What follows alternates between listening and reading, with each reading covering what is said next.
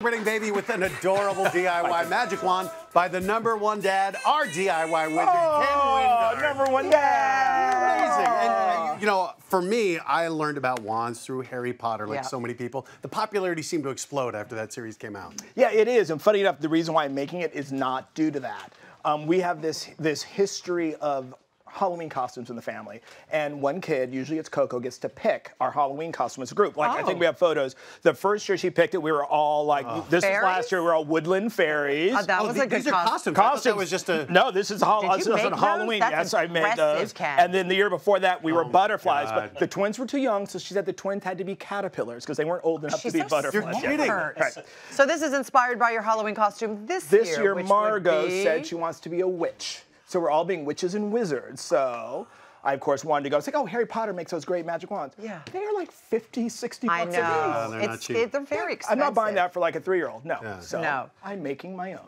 So how do we get started? So it's very simple. The key here is this, which is a floral light, and it's a submersible floral light. It'll cost you about six bucks. This is to make it light up.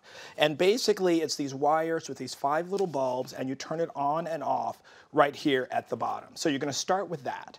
And then what you're gonna do is just get a piece of duct tape, and you're just going to put it, roll the duct tape over because you need to sort of build up a little bit of um, girth. A little thickness. Right. Why and I are also you wearing the blue glove? well, that's the whole Michael Jackson thing. No, I, I'm about to use plaster, and I've decided I'm not going to get my hands completely Okay, dirty every single time I make a wand. right. So once you do that, then you're just going to get a plain old piece of printer paper, lay it diagonally, and just roll that up.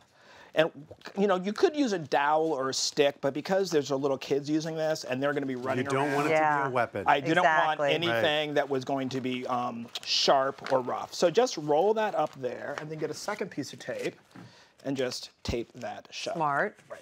Then all you're gonna do, get a pair of scissors, trim off some extra here. So now you've got your basic form. Pretty simple. Now the next thing, the next key is plaster wrap. It's about seven bucks for a bag of it. You can make probably 10 wands out of a bag. Mm-hmm. And it's this sort of mesh. I've used it before. I used this for Easter eggs a few years ago. And it's plaster on like a fabric mesh.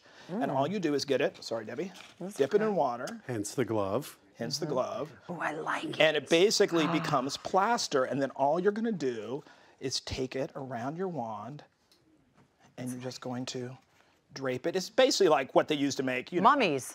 or casts. Or casts. or casts or mummies. You know, both. One or the other, Both true. It's Cleopatra. Halloween stuff. Oh, good point. Good point. Good point. Yeah, but you probably wouldn't want to use this on your body. You, No. Probably. No, let's go with let's probably just say not. probably, We're not absolutely not. Um, and No. then you're just going to wrap it all the way around. It's very easy. And then what happens with it is once you get it on, then you're just going to use your finger and you, the plaster comes out and you that. smooth it all over the actual mesh. So the mesh disappears. Wow. It's going to have this little plastic ring on the end. So you're going to want to get a second little piece Details. dip Ken. that I love in.